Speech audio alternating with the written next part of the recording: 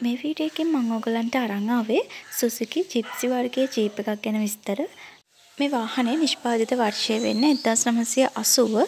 ඒ වගේම මේක ඩීසල් වලට කන්වර්ට් කරලා 2013 දී ලියාපදිංචි කරලා තියෙනවා. වාහනේ ගැන කියනවා නම් 2000 cc එන්ජින් ධාරිතාවයක් තියෙනවා. ඩීසල් ලීටර් එකකට කිලෝමීටර් 18ක් වගේ ප්‍රමාණයක් ධාවනය කරන්න පුළුවන්. ඒ වගේම පවර් ස්ටීරින් තියෙනවා. ඕපන් පේපර්ස් තියෙන වාහනයක් මේක. මැනුවල් 5 ෆෝවර් ජිය පද්ධතියකින් සමන්විත වෙනවා. ඒ වගේම අලුත් ටයර් අලුත් බැටරි දාලා තියෙන්නේ. බැටරි ටයර් 100%ක් හොඳ තත්ත්වයේ තියෙනවා කියලත් විකුණුම්කරු දැනුම් දුන්නා. වාහනේ දිරුම් මොකුත් නැහැ. වාහනේට අදාළ සියලුම ලියකියවිලි යාවත්කාලින කරලා තියෙන්නේ. වාහනේ මිල විදියට විකුණුම්කරු කියන්නේ ලක්ෂ 23යි.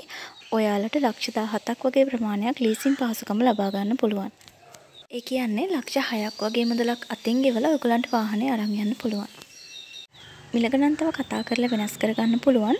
ඉතින් මිල ගණන් කතා කරගන්න හෝ තව වැඩි විස්තර දැනගන්න අවශ්‍ය නම් විකුණුම්කරුගේ දුරකථන අංකය මම පහළ ඩිස්ක්‍රිප්ෂන් එකේ දාලා තියෙනවා.